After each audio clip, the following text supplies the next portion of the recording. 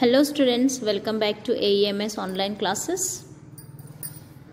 Students, today we are going to discuss class 8 subject geography lesson number 4 structure of ocean floor. Students, we know that the proportion of water and land is uneven on the earth's surface. Near about 71% of the earth's surface is covered by water. Do you know that even below the water land is present?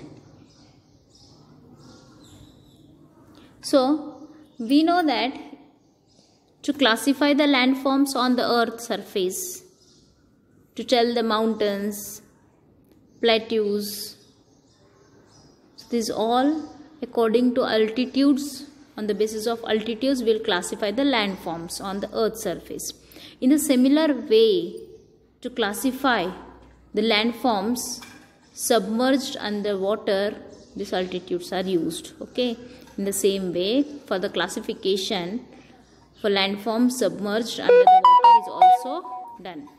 So let us see one by one. First we will see about the relief of ocean floor. Relief of ocean floor we are we will see. In this we are going to see actually how the relief of ocean floor is decided. What is the average depth of the what is the average depth of the ocean? Then in relief actually how the structure of land is there what are their names? So these we are going to study detail okay? Now ocean floor.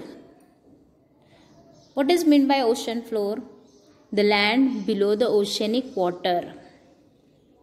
Land submerged below the oceanic water is called the ocean floor. Land submerged below the oceanic water is called the oceanic floor. Now the relief of ocean floor, how it is decided, how the relief or the structure of the land below the ocean is decided. It is decided by the depth of the sea, by the depth of the sea from the sea floor and the shape of the land present below the water. Depth of the ocean floor and the shape of the land. These two factors decide the decide the structure of land or relief of ocean floor. So even it is also unevenly distributed. The submerged land below the water it is unevenly distributed. It is not flat everywhere the average depth of ocean is near about 3700 meter. The average depth of ocean is 3700 meter. The ocean floor relief consists of all submerged landforms. Many landforms are present below the ocean floor. So let us see in sequence one by one in detail we will learn one by one landforms below the water. Okay. So first one is continental shelf. Continental shelf. So what is this continental shelf? For what purpose it is used? Where it is present? Till how much depth is there? These all things we are going to see in continental shelf. The land near the coast. The land near the coast and submerged under the sea the land near the coast and submerged under the sea is called continental shelf. This is the shallowest part of ocean bed. This is the shallowest part of ocean bed and even its slope is gentle. Slope is gentle. The extent of continental shelf is not uniform everywhere it is extended but it is not uniformly spread everywhere okay? In few places it is narrow and few few places it is broad. Near the coastal areas it is narrow as while the broad for the hundreds of kilometer at others. As it will flow away from the coastal areas it becomes broader and broader. And even its depth is from the surface water till the below 200 meters the sea level. The depth of the coastal or the continental shelf is 200 meter below the sea level. Now, what is the importance of continental shelf? So, it is one of the important area or important point for human activity. The fishing ground or it is said as a fishing ground for human activities. So, fishermen they will do their fishing work in this continental shelf. Even the algae and plankton is grown here which is the food for fish. The sunlight it passes the bed of the sea easily. One more very important part that is we get by the mining the natural gas, mineral oil and various minerals can obtain here. So mining is done in this continental shelf and we may obtain the natural gas, mineral oil and various minerals in India, one of the major city like Mumbai, Mumbai High located on continental shelf of Arabian Sea. So near the Arabian Sea, the coast coastal sorry continental shelf is there. So there the mining is done. So mineral oil and natural gas are obtained is one of the major point to get the mineral oil and natural gas. Okay. This was about the continental shelf. Let's move to the next landform of the ocean floor that is continental slope. Continental slope. As figure tells us that the slope of seabed becomes steeper. So if you'll see it is like a sliding ways there. How in the continental shelf it was gentle here it is steeper. Okay. After the extent of continental shelf as the continental shelf over the continental slope starts. Okay the depth of this slope is near it starts from 200 meter to 3600 meters it is spread till 3600 meter below so as the continental shelf is completed till 200 meter from there the continental slope starts and ends till 3600 meters of the depth. In some places it is more.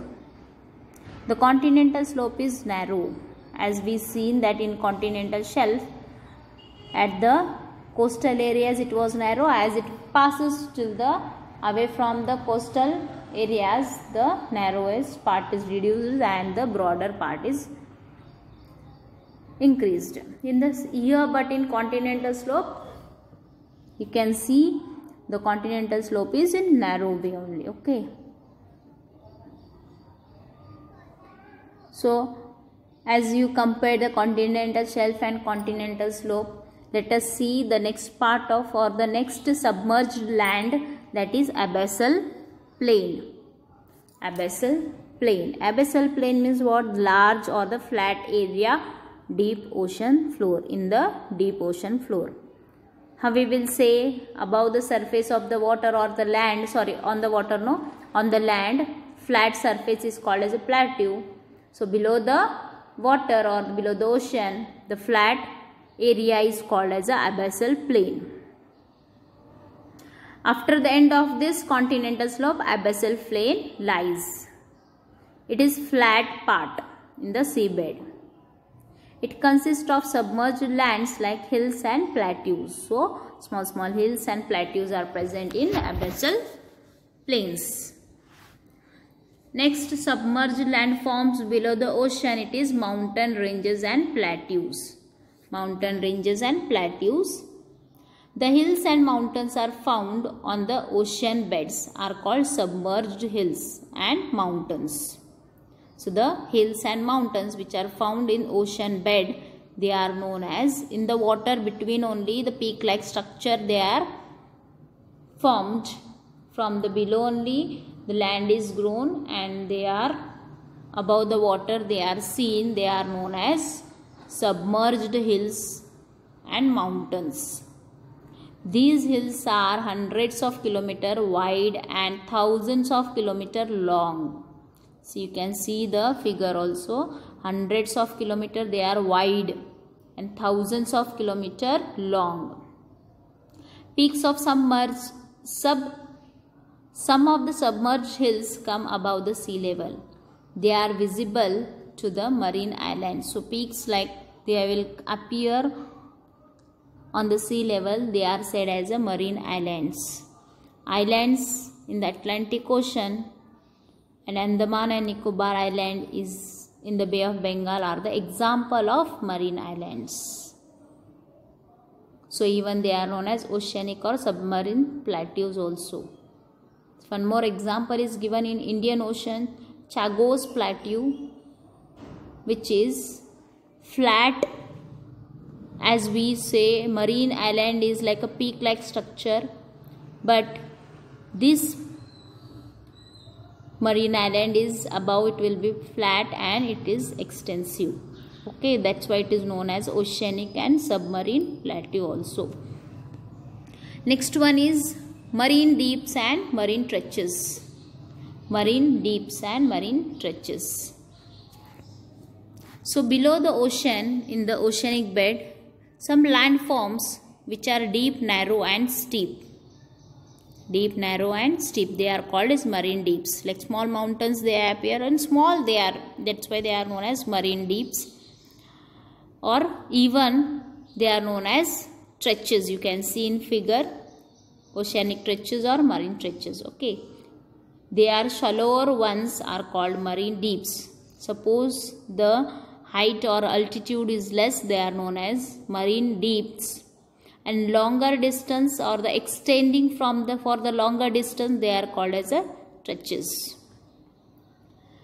the trenches are thousands of meters deep from the sea level from the sea level abyssal, abyssal plain is there from that thousands of kilometer they are spread below the water or the longer distance they are spread the marine trenches in the Pacific Ocean is the deepest trench in the world. So, it, example is given Mariana Trench. Mariana Trench is one of the deepest trench which is present in Pacific Ocean. In the world, it is deepest trench. Okay, its depth is near. It is depth is around 11,034 meters.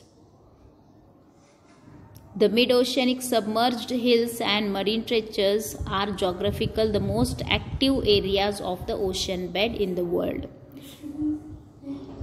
There are many active volcanoes here. So in these areas you can see the active volcanoes. These areas are also known as earthquake prones.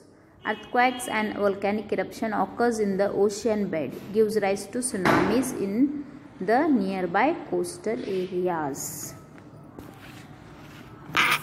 So, we have seen students we have seen the submerged landforms that is continental shelf, continental slope, abyssal plains, mountain ranges and plateaus, marine deeps and marine trenches. So in next session we are going to see about the marine deposition, how it takes place below the ocean floor. Okay? So till then we'll stop here and we'll continue in the next session of this lesson. Bye